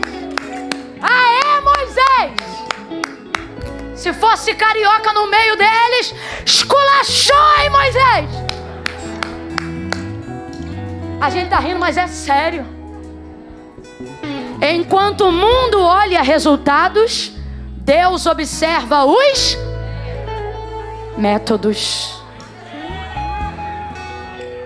Você pode vir na igreja, pode fazer campanha, pode ser ofertante, pode ser dizimista. Naquele grande dia, ele não vai olhar o resultado, ele vai ver se você foi fiel ao método, a direção, a palavra de Deus. É pensando nisso que nessa noite eu quero abrir aqui a oportunidade de você que já vem à igreja, que ama ao Senhor. Camila, como é que você sabe que eu amo ao Senhor? Porque num culto de domingo à noite você podia estar em qualquer lugar do Espírito Santo, mas você escolheu estar na casa de Deus. Você ama ao Senhor. Você diz assim, Camila, eu não sou crente, não, eu discordo. Para mim você é crente. Sabe como é que eu sei que você é crente? Você conhece o nome de um monte de santo, mas quando a coisa aperta, você chama o nome de um só. e ainda é fervoroso, você diz: há poder no sangue de Jesus. Tu é crente. Não, Camila, eu não sou crente, não. Eu só venho porque eu gosto, mas eu estou desviado. Olha para mim. Desviado não frequenta culto. Desviado vai embora e não dá nem tchau. Que raio de desviado é você que está aqui até agora? Você não é desviado, você é afastado. E está aqui porque admite ter saudade da presença dEle. É, Camila, eu sei, mas olha, eu não posso fazer uma aliança com Deus hoje, não, porque para mim servir a Deus é coisa muito séria. E eu tenho uma situação tico-tico no fubá para resolver. Depois que eu resolver, eu vou. E o Senhor está dizendo: não vai ter resultado nisto depois, se você não se submeter ao método agora. Você não se conserta, não é porque não quer. Você não se conserta porque foi o próprio Jesus que disse: sem mim, nada podeis fazer. Camila, mas é que eu tenho uma situação tico-tico no fubá. Então como é que eu faço? Vem você, o tico-tico e o fubá. Coloca todo mundo no altar de Deus hoje. Não, Camila, meu problema é mais grave. Eu tô com 5 gramas de um bagulho que eu vou usar ainda hoje. Porque eu tenho abstinência. Abstinência você tem de Jesus. Por isso que tu roda tudo e no final para aqui. Não, Camila. Mas isso aqui, ó. Vem você. Tuas 5 gramas. Se o fornecedor tiver aí, pergunta se ele quer vir também. Porque Jesus não disse se arruma e vem. Jesus não disse resolve vem. Vamos parar de dizer o que os outros dizem e vamos dizer o que Jesus falou. E o que Jesus disse foi: Vinde a mim, todos vós que estáis cansados, oprimidos, sobrecarregados. E ele não disse eu te julgarei, ele disse eu, eu te aliviarei. Você nessa noite. Alívio. Diga comigo, alívio. Alguém enfiou na tua cabeça que o método é difícil. Sabe o que é difícil? Não é um método, é tentar fugir dele.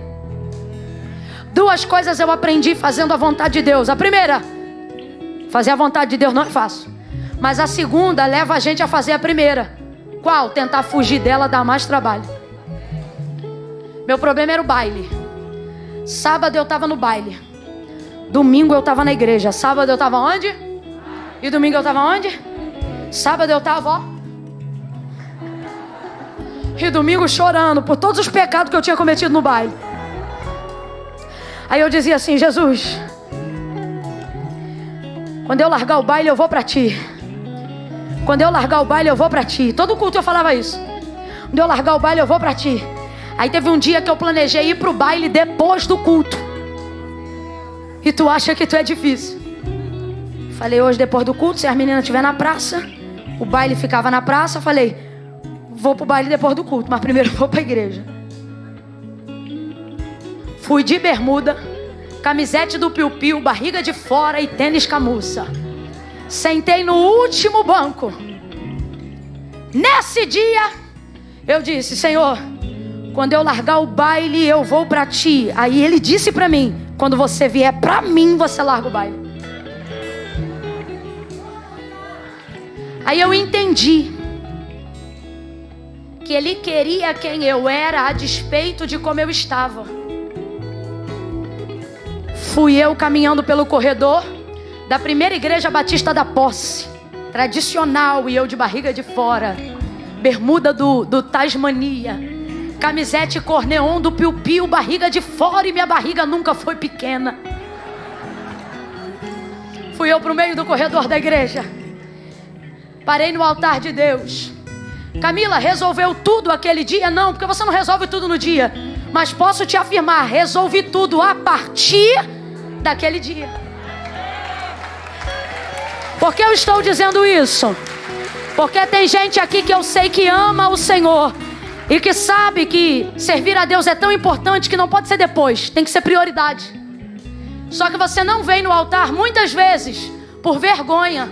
Aí você diz, Camila, se eu não, tô, não vou por vergonha, Deus entende, Deus sabe, sabe, mas não concorda. Porque não foi Camila nem igreja evangélica. Quem ainda está me ouvindo, diga amém.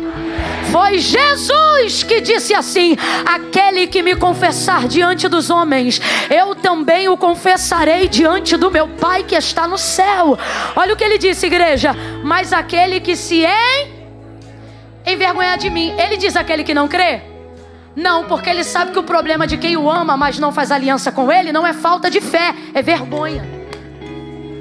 Aí, Camila, o que, é que eu faço então se eu tenho vergonha? Tu tem que vir com vergonha e tudo. Por quê? Porque a vergonha é passageira, mas tua salvação é eterna. É eterna. Então vai funcionar dessa forma. Eu sei que Deus vai te dar resultados, mas eu não quero te chamar pelos resultados. Eu vou contar de um a três. E vai vir aqui para o altar de Deus. Camille, se eu estiver na galeria, eu tenho que ir aí também? Tem. Mas não é muito longe, não. Longe é o céu sem Cristo. Aqui é perto. Quando eu disser três, você vai sair da onde você está e vai parar aqui na frente. E ninguém vai te pegar pelo braço, não. É só quem sabe. Camila, sou eu, é você, então você vai vir. Agora, preste atenção para não vir quem eu não estou chamando. Quem vai vir? Quem está afastado. Quem se diz desviado. Quem vem à igreja, frequenta os cultos, mas nunca fez uma decisão ao lado de Jesus. Camila, eu nem sabia que eu precisava, agora tu sabe. Camila, quando chegar aí na frente, eu tenho que falar alguma coisa? Nada, porque eu só estou chamando essas pessoas. Então eu vou entender que a sua caminhada até aqui é a sua confissão pública de fé. Camila, eu sou de uma igreja aqui perto, posso ir aí na frente? Não. Camila, eu sou de uma igreja aqui perto. Posso ir aí na frente? Isso, pode ficar à vontade. Posso ir aí na frente? Não. Não estou chamando o crente que quer oração. Não, Camila, que eu estou sentindo de orar. Ora aí aonde você está. Não, vem que eu não estou te chamando. Só vai vir para o altar. Camila, sou eu. Estou afastada. Camila, estou desviado. Camila, eu queria ir na frente, mas estou sem graça porque eu sou macho alfa. E o Senhor está dizendo: Tu é macho alfa na tua casa, na minha presença, tu é meu filho. E eu te quero de volta, homem.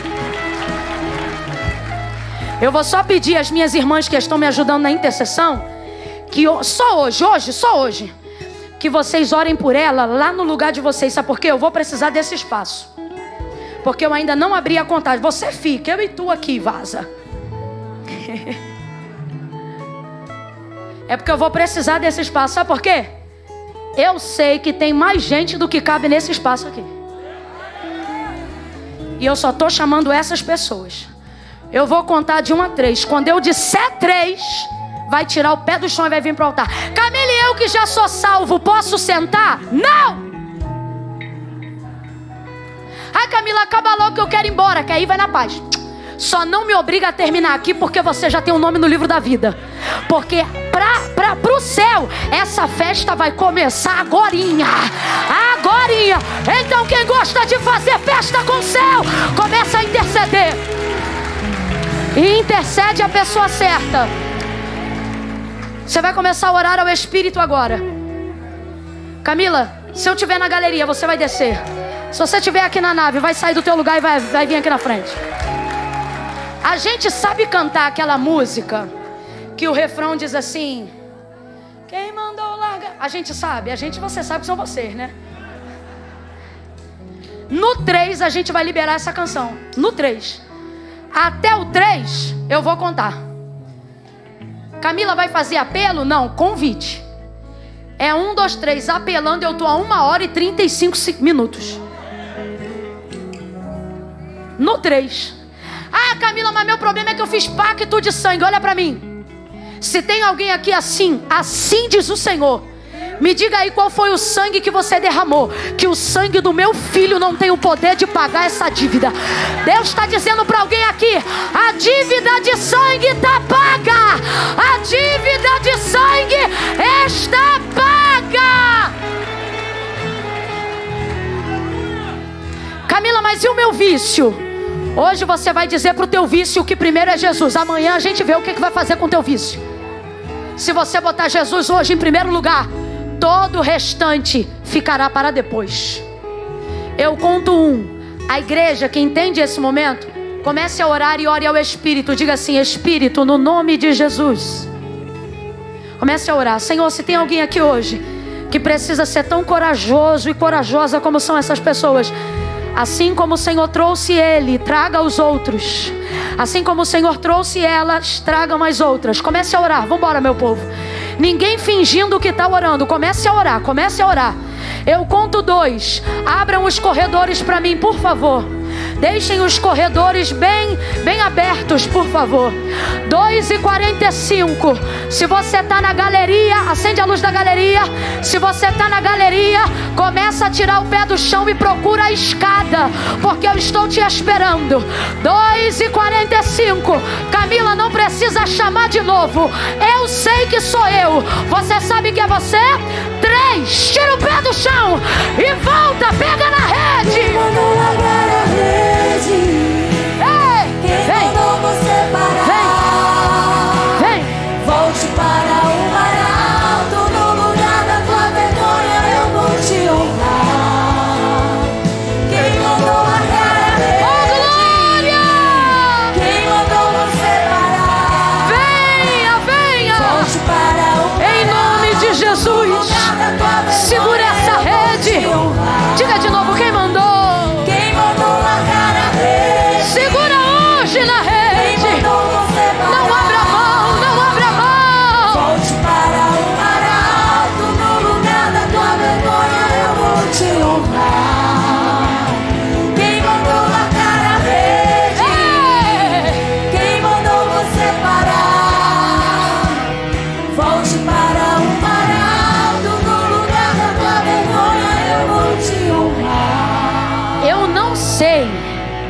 Eu chamei o pastor aqui porque eu quero muito que ele ore por essas pessoas conosco. Oh, glória.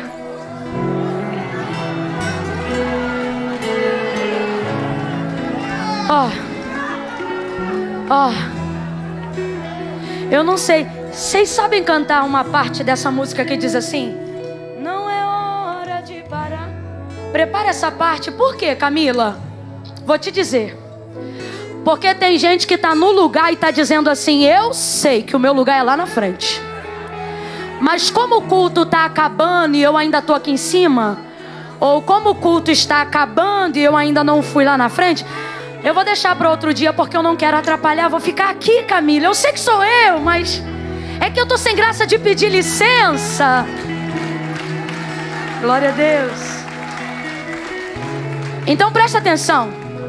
Eu não vou mais pegar no microfone, eu vou passar o pastor. Mas antes de eu passar ele, só para você entender que quando a Bíblia diz que uma alma vale mais que o mundo inteiro, a gente sabe que é verdade. Entenda isso. Eu não estou fazendo isso por mim, o que eu tinha para pregar eu já preguei.